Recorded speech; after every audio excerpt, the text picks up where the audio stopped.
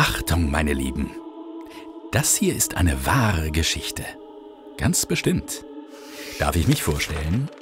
Mein Name ist Jean de Mondeville und ich bin ein großer Reisender. In diesem Buch hier könnt ihr es sehen. Und wen ich nicht alles getroffen habe auf meinen Reisen, die merkwürdigsten Tiere. Tiere mit sehr, sehr langen Hälsen, Drachen und Pferde mit nicht nur einem, sondern gleich drei Hörnern auf der Stirn.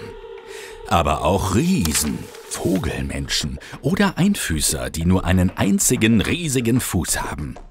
Sie sind damit schneller als alle anderen. Und wenn sie sich auf den Rücken legen, dann spendet der Fuß ihnen Schatten. Und Menschen mit Gesichtern, die aussehen wie Teller ohne Nasen und ohne Lippen. Brrr, gruselig. Schaut mal, diese merkwürdigen Wesen hier, die habe ich auf einer Reise in den ganz fernen Osten gesehen. Da zweifelt ihr vielleicht. Aber ihr wisst doch, dass man auf Reisen die seltsamsten Leute trifft, auch wenn die schrägsten Vögel dann am Ende aus der eigenen Nachbarschaft kommen und sich als, naja, als Kegelclub aus Sülz oder sowas herausstellen. Aber diese Hundsköpfigen, die gibt es wirklich. Ich muss es wissen, ich war ja in ihrem Land. Meine Freunde aus der gelehrten Welt, die nennen solche Wesen Kynokephale. Das kommt aus dem Griechischen, von Kyon, das ist der Hund, und Kephalos, der Kopf. Über diese Kynokephale ist früher schon berichtet worden. Die antiken Schriften erzählen von ihnen. Aber ich, ich habe sie gesehen, live und in Farbe. Sie leben auf einer Insel namens Makameron. Das könnte die Inselgruppe im Indischen Ozean sein, die ihr heute als Nikobaren kennt. Auf dieser Insel laufen die Hundeköpfigen fast nackt umher, nur ein Tuch tragen sie um die Hüfte. Sie beten einen Ochsen als Gottheit an. Und deswegen tragen sie auch alle einen Ochsen aus Gold oder Silber auf der Stirn. Dieses wilde Völkchen kämpft gerne, mit großen Schilden und langen Lanzen. Und wenn sie Feinde gefangen nehmen, naja, dann fressen sie sie auf. Ihr König ist mächtig und besitzt einen riesigen Rubin. Den trägt er immer bei sich. So können ihn seine Untertanen daran erkennen und gehorchen ihm. Praktische Sache. Aber warum nicht einfach eine Krone nehmen? Selbst der Herrscher der Mongolen, der große Khan, ist neidisch auf diesen Schatz. Er hat deswegen auch schon Krieg mit den Hundeköpfigen geführt. Aber der König von Makameron gibt den Rubin nicht heraus und verkauft ihn auch nicht. Und jetzt sag ich euch mal was, obwohl die Hundeköpfigen Ungläubige und Menschenfresser sind, verurteile ich sie nicht. Ihr König ist gerecht und sein Land sehr sicher. Das sollte man mal von unserem hier sagen können.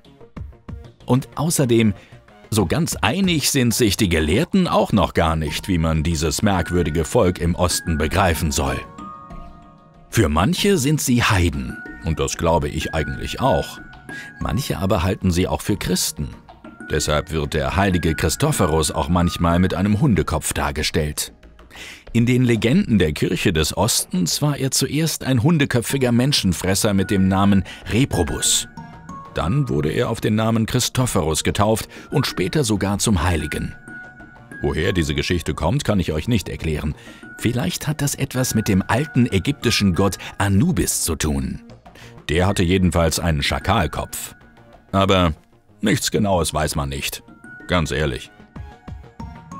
Aber wenn ihr noch mehr über die Hundsköpfigen und über all die anderen wundersamen Wesen wissen wollt, die ich auf meinen langen Reisen gesehen habe, da habe ich einen Lektüretipp für euch. Einfach mein Buch kaufen. Lohnt sich. Ihr glaubt das alles nicht? Ihr glaubt, ich flunkere mir das alles nur zusammen? Habt zu viel antike Schriften gelesen?